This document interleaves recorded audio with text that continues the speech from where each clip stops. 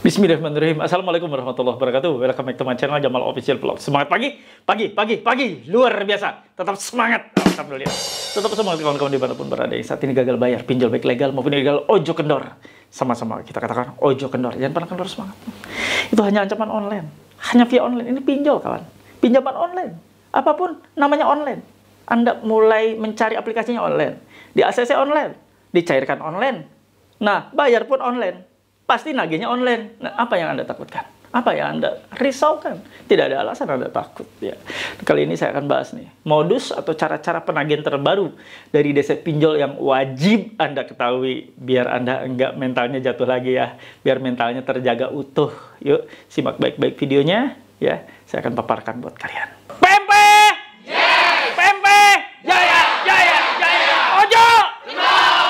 Alhamdulillah teman-teman bertemu kembali dengan channel YouTube ini. Channel membuat Anda makin tidak takut lagi menghadapi situasi gagal bayar. Situasi gagal bayar bagi Anda yang sering mantengin channel YouTube ini adalah seperti suatu hal yang biasa saja. Tidak ada sesuatu yang perlu diseriusin, ditakutkan. Apalagi Anda sampai nggak bisa tidur, sampai nggak bisa istirahat, nggak bisa makan nggak akan pernah terjadi. Bagi kalian yang sering mantengin channel YouTube ini, insya Allah bisa tayang konsisten tiga kali sehari untuk menemani situasi gagal bayar Anda. Situasi gagal bayar adalah situasi di mana segala sesuatu kemungkinan bisa terjadi. Sesuatu yang tidak menentu. Yang Anda pikir mereka tidak akan nagih, tiba-tiba sudah ada depan pintu rumah Anda. Yang tadinya Anda pikir mereka akan nagih, ternyata tidak ada yang nagih. Semua kemungkinan bisa terjadi. Kita sama-sama belajar lah ya. Sama-sama belajar mengatasi situasi ketakutan Anda. Mengatasi takut itu kalau Anda bisa mengatasinya ya. Bisa meminimalisirnya bahkan bisa menghilangkan rasa takut itu itu benar-benar juara. Berarti Anda benar-benar top ya. Bisa menguasai medan perang. Karena situasi gagal bayar itu seperti perang kawan. Perang psikologis.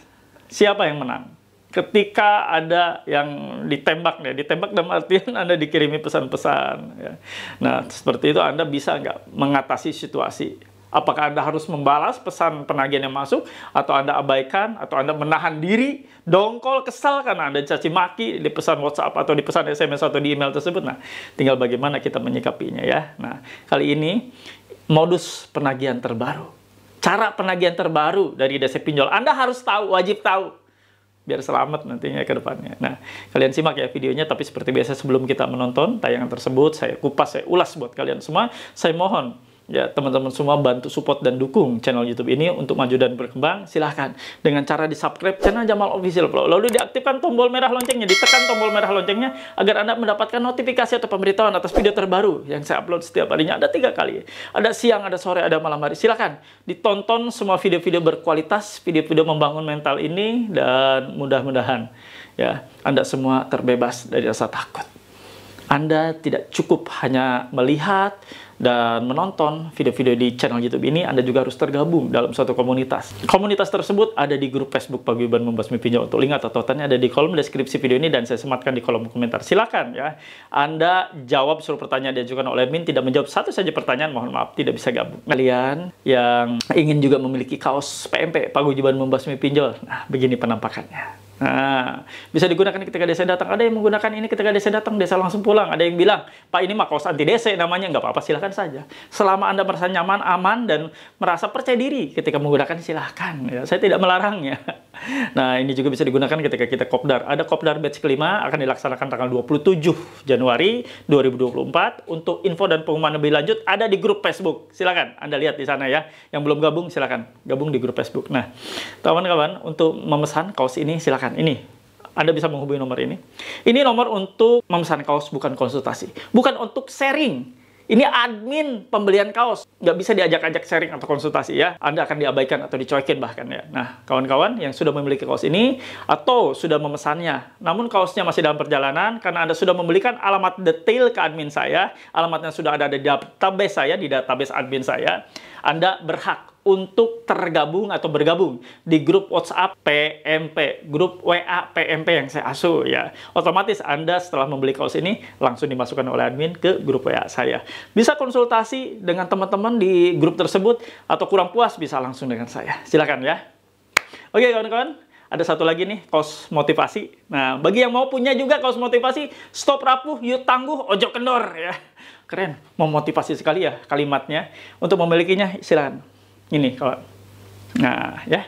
Oke kawan-kawan, itu saja informasinya. Sekarang saatnya kita nonton video ini. Ini gaya-gaya terbaru, cara-cara terbaru DC pinjol lagi. Nah, kita lihat yuk.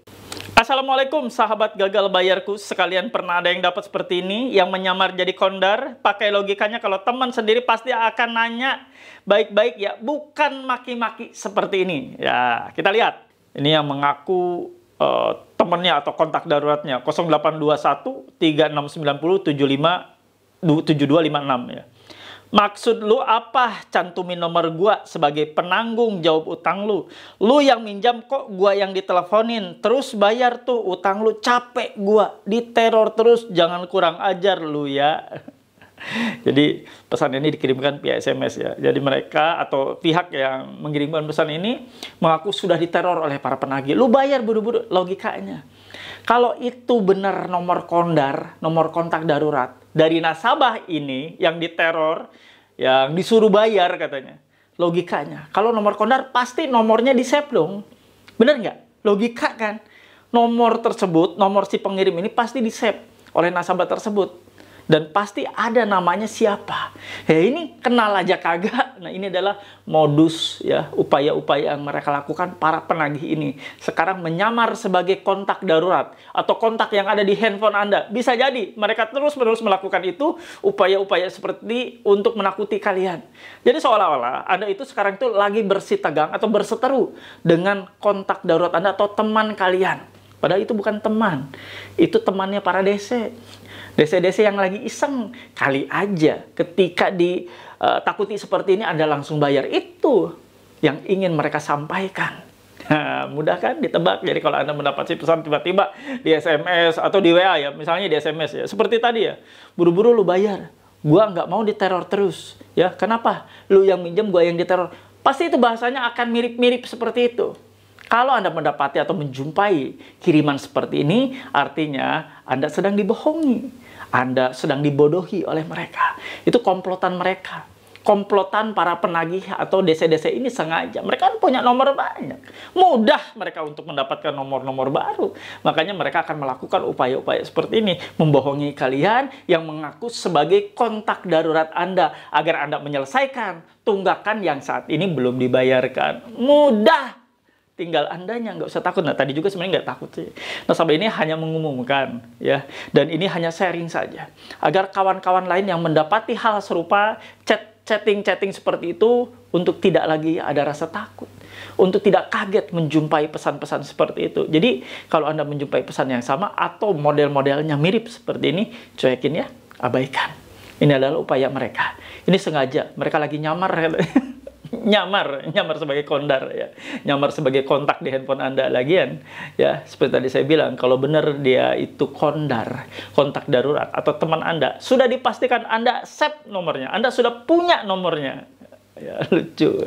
Kadang-kadang mereka kalau buat sesuatu itu nggak pakai ini ya logikanya nggak nyambung ya di yang susah sih kalau udah nggak punya akal ya kayak gitu bisanya cuma ngomong ngomong doang di WA ngomong doang di SMS ya ngakut nakutin ngancam ngancam ya memang seperti itu. Kemampuan mereka hanya sebatas itu. Yang lainnya nggak ada mereka itu hanya ditugaskan untuk nakutin agar nasabah segera bayar karena mereka nggak peduli cara-cara yang mereka tempuh mau itu cara-cara yang paling halus, paling kasar, mau menabrak aturan sekalipun mereka sudah tidak mikirin hal seperti itu. Yang mereka pikirkan saat ini gimana caranya membuat Anda bayar, lalu setelah Anda bayar itu struk bayar atau bukti bayarnya dikirimkan ke mereka dan mereka setorkan ke bosnya dan mereka gajian. Itu aja sih, gak ada yang lain. So, apa yang Anda takutkan? Gak usah takut, ya. Ini hanya upaya mereka untuk membuat Anda takut. Untuk menyamar, seolah-olah mereka adalah kontak darurat, padahal bukan. Oke, okay, kawan-kawan? Saya yakin kalian sudah paham ya.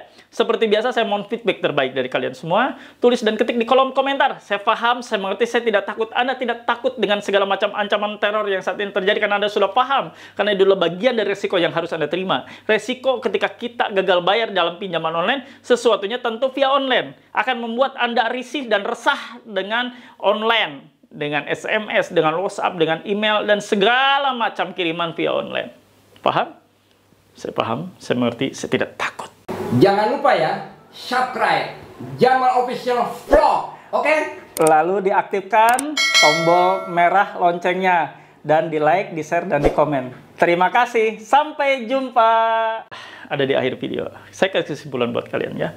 Jadi kalau Anda menjumpai pesan-pesan, baik itu melalui WhatsApp, melalui SMS, melalui email, pesan-pesan media sosial lainnya, ya bahwa Anda harus segera bayar ini kenapa gua yang diteror, lu yang minjem gua yang diteror. Jadi seolah-olah itu adalah teman kalian. Logikanya, kalau teman Anda pastinya akan di-save nomornya. Dan Anda akan tahu itu siapa yang menghubungi Anda. Ini tiba-tiba ada nomor asing ngaku ya sebagai teman yang diganggu katanya. Teman Anda yang diganggu ya. Seperti itu kawan. Itulah yang terjadi. Apa pun akan mereka lakukan, apa pun caranya akan mereka tempuh untuk membuat Anda takut Lalu Anda bayar. Setelah Anda bayar, bukti bayarnya Anda kasihkan ke mereka di foto, dikirimkan ke mereka, senang mereka. Sudah gajian lah mereka.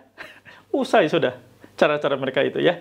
Dan akhirnya kalau kalian merespon dengan takut kalau kalian sudah menerima pesan ini, Anda takut, lalu Anda bayar, maka cara-cara seperti ini akan terus dilakukan, akan terus-menerus, dan ini menjadi habit bagi mereka, menjadi suatu kebiasaan bagi mereka, bahwa menakuti seperti ini cara terbaik dan akhirnya akan terus menerus dilanjutkan dan dijumpai oleh kawan-kawan saudara kita lainnya di sana yang belum mengetahui video ini. Sebarkan video ini. Semoga menjadi kebaikan buat kalian karena menyebarkan terbaru untuk mereka. Cara-cara seperti ini biar mereka tahu, biar mereka tidak lagi ada rasa takut. Paham ya? Oke, itu saja yang mau saya sampaikan. Terima kasih yang sudah menonton dari awal pertengahan sampai akhir. Saya doakan kalian semua yang saat ini sedang sakit, semoga Allah sembuhkan dan pulihkan dari sakit kalian. Allah sehatkan kembali. Yang saat ini sedang berikhtiar, semoga Allah mudahkan. Allah berikan kemudahan, kelancaran atas setiap aktivitas kalian semua. Dan Allah jauhkan dari bahaya dan malapetaka yang akan menimpa Anda semua. Amin. Ya Rabbal. Itu saja yang mau saya bawakan. Terima kasih. Robbana atina fid dunya sana wa fil akhirati hasanah wa qina benar. Wallahu muwaffiq ila aqwamit thoriq. Wabillahi taufiq wa hidayah. Wassalamualaikum warahmatullahi wabarakatuh. Salam akal sehat. Bravo.